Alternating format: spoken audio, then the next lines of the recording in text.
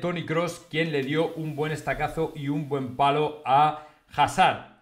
Ancelotti, justo además en la televisión belga también tuvo bien acordarse de Hazard y decir que por supuesto él no está en el Real Madrid para dar minutos simplemente por el hecho de dar minutos a cada jugador, que él está en el Real Madrid para ganar partidos y punto. A ver, Podría tener unas cuantas palabras también para esta aseveración de Ancelotti, puesto que poniendo y alineando a Benzema, sinceramente no creo que estés mirando por el bien del equipo, no creo que estés poniendo a los jugadores que te van a dar una victoria en el partido. Ahora mismo Benzema debería como mucho salir desde el banquillo en el minuto 70 y punto, no debería jugar más como titular, pero sí que es cierto que para el caso eh, concreto de Hazard, creo que Ancelotti fue muy claro. Efectivamente, un entrenador del Real Madrid no puede venir a hacer amigos. Está claro que tienes que tener un poco de mano izquierda con determinados jugadores, pero es que con Hassan hemos tenido mano izquierda, mano derecha y demasiadas manos a lo largo de estos últimos cuatro años donde él no ha demostrado prácticamente nada y por el contrario se ha llevado un sueldazo absolutamente brutal. Así que sinceramente creo que hizo bien Ancelotti en darle este palo, creo que hace bien Ancelotti en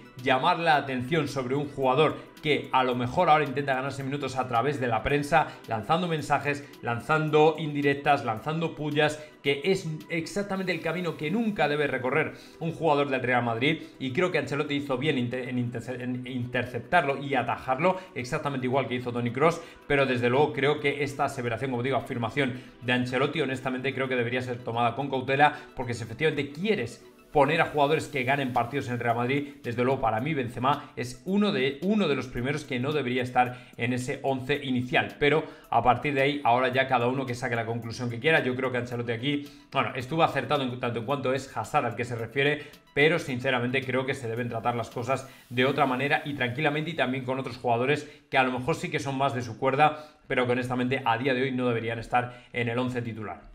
Tal y como os he comentado antes, la federación efectivamente habría salvado al Barça porque hace nueve meses que la fiscalía ya llamó para recabar información acerca de Negreira y le dijo, ¿vale? La contestación de la federación de Rubiales le dijo a la fiscalía que no había ningún problema, que no había ningún tipo de incompatibilidad en la labor que es el exárbitro ejercía dentro de la federación. Pues bien, esto no parece que sea cierto si tenemos en cuenta este código que se ha filtrado por aquí en el que se recoge que efectivamente cualquier persona que pudiera tener un conflicto de intereses debería comunicarlo inmediatamente. Concretamente el punto 3 de la sección segunda, beneficios indebidos, conflicto de intereses, artículo 19, las personas sujetas al presente código no podrán ejercer sus funciones en caso en los que exista o pueda existir un conflicto de intereses. Se deberá poner de manifiesto dicho conflicto inmediatamente y notificarlo a la organización para la que la persona sujeta al presente código ejerza sus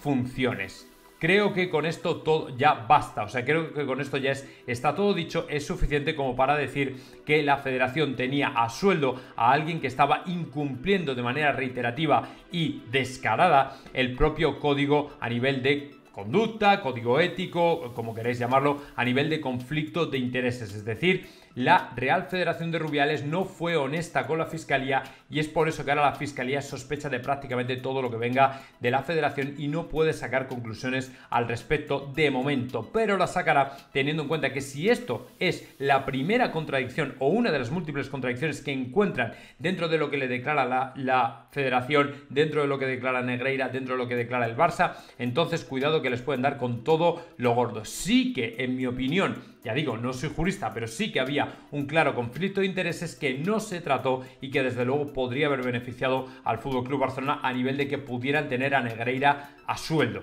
¿vale? Este es el gran tema y el gran problema, pero ya a partir de aquí cada uno que opine lo que quiera, para mí desde luego está más que claro que sí que lo había. Para que veáis que no solamente voy a referirme a los árbitros, para que veáis que no me voy a referir solamente a los escándalos arbitrales como para ayudar al Barcelona o perjudicar al Real Madrid, creo que ya habéis visto que he hecho autocrítica a nivel de todo lo que tenemos que cambiar dentro del Real Madrid para ser realmente competitivos, pero sí que es cierto que Ancelotti ayer tuvo una frase que ya ha tenido en otras ocasiones y que sinceramente creo que saca de quicio y pone de los nervios al madridismo y es esta misma, la de jugamos un gran partido y merecíamos ganar. No, Carleto, el Real Madrid no se mereció ganar ayer porque no ganó de hecho y además no quiso matar el partido. Para mí es verdad que el, clásico de ayer fue probablemente de los más igualados de los últimos tres que hemos perdido, ¿vale? Cierto, pero dicho esto, el Real Madrid no sabe matar los encuentros. Si ayer, después del gol de Araujo en propia meta, conseguimos hacer otro gol, y matamos el partido u otros dos goles que podíamos haber hecho perfectamente, desde luego no estaríamos hablando hoy de lo que estamos hablando. Pero como el Real Madrid no tiene el ataque que se merece, es por lo que hoy estamos a 12 puntos del Fútbol Club Barcelona y no al revés. Ese es el gran problema y la gran tragedia. ¿Vale? La gran tragedia del equipo. El hecho de no tener a una delantera que realmente meta miedo de no tener a una delantera que realmente sea digna de llevar y elevar los estándares del Real Madrid hasta lo más alto. Ese es el gran problema, ¿vale? Entonces, no vale que digamos, no, fue un gran partido, merecimos ganar. No, eso es lo que nos pareció a nosotros. ¿Cuántas veces no hemos apaleado a Xavi por decir lo mismo? Es que conseguimos la posesión, tuvimos más posesión, nos merecimos ganar, hicimos un gran partido. ¿Cuántas veces no le hemos apaleado por eso? Miles, ¿vale? Miles. Y sin embargo, Ahora resulta que nosotros hacemos lo mismo y estamos bien con eso. Yo creo que no deberíamos. Yo creo que el Real Madrid debería hacer autocrítica y decir, no, no merecimos ganar lo primero porque nos marcaron más goles que nosotros a ellos, número uno, y porque realmente no supimos matar el partido porque no tenemos plantilla para matar partidos, no tenemos ataque para matar partidos, para ser incisivos. Ese es el gran problema. Y de ahí vienen los problemas. Luego vamos con otro de los productos generados por el relato, que no es más que un jugador de los jugadores, en mi opinión, más sobrevalorados del planeta, que si bien es cierto le puedo dar el rango de uno de los mejores de la historia, desde luego no el mejor. Me estoy refiriendo ni más ni menos que a Leo Messi, que ayer una vez más no solo no fue determinante en el Paris Saint Germain, sino que permitió que esta temporada se pueda decir que Leo Messi no vale para absolutamente nada especial en el Paris Saint Germain y que todo lo que hayáis visto con respecto a lo que hizo en el Mundial, sinceramente creo que es más humo que otra cosa. Ayer Leo Messi no solo no fue importante, sino que encima se fue directamente al túnel de vestuarios sin saludar a absolutamente nadie, ni a su afición, ni pedir perdón, ni nada parecido. Quizá él entienda que no tiene por qué hacerlo porque es el mejor del mundo, pero sinceramente creo que después de que se elevara a las cuotas a las cuotas más altas el tema de Leo Messi, de quién es, de lo que representa, todo este tipo de cosas, para mí creo que quedó claro ayer que efectivamente Messi es más relato que otra cosa. Si Messi realmente fuera el mejor jugador de la historia del mundo del planeta, no solamente se dedicaría a ganar un mundial, seguramente podría hacer algo mucho más grande para el club que le paga, que es el Paris Saint-Germain en este caso. Por eso para mí ayer, ya no solo ayer, sino durante toda la temporada Leo Messi no es un jugador que merezca la pena ser llamado como el mejor de la historia o el mejor del mundo, porque al final, ayer lo que viste es que el Paris Saint Germain tiene un gran equipo, tiene Mbappé, tiene a Messi, tiene a muchos otros jugadores, pero no marcan al final la diferencia, ni siquiera Mbappé marca la diferencia. Entonces, ¿cómo me puedes decir después de ganar un mundial? No voy a decir que estuviera adulterado, pero, pero después de ganar un mundial que tiene en la selección argentina uno de los grandes favoritos cada vez que juega un mundial, puedes decir que Messi, que efectivamente jugó un buen mundial y fue determinante, eso es completamente cierto, pero ¿cómo puedes decir que luego vuelva a un equipo que se ha construido expresamente para ganar la Champions con grandísimos jugadores alrededor y que sin embargo no sea capaz de ganar la Liga 1 aplastando a otros equipos, sino que lo hace sembrando muchas dudas e incluso queda eliminado de la Copa de Francia. ¿Cómo vas a catalogar a ese chaval de mejor jugador de la historia? Es, es absolutamente exagerado.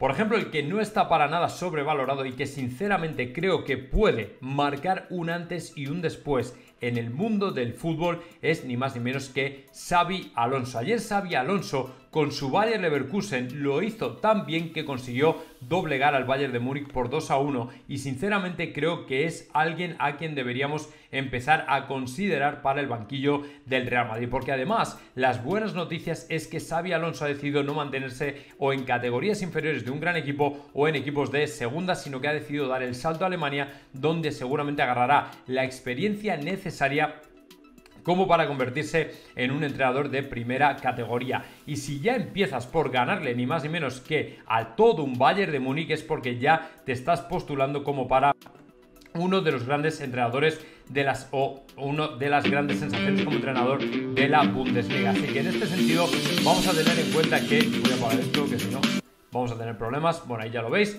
Bayern Leverkusen 2, Bayern de Múnich 1 con goles de Ezequiel Palacios y para el Bayern de Múnich de Joshua Kimmich. Bueno, pues ahí está el asunto ahora mismo. El Bayern Leverkusen, sinceramente, creo que le he perdido la pista, pero quiero ver porque llevaban una racha de victorias absolutamente espectacular y voy a ver los, la clasificación, precisamente porque quiero ver por dónde andan y sinceramente creo que ahora mismo están en una situación bastante, bastante interesante y creo que además pueden llegar a hacer, no sé si decirlo historia, pero sí que,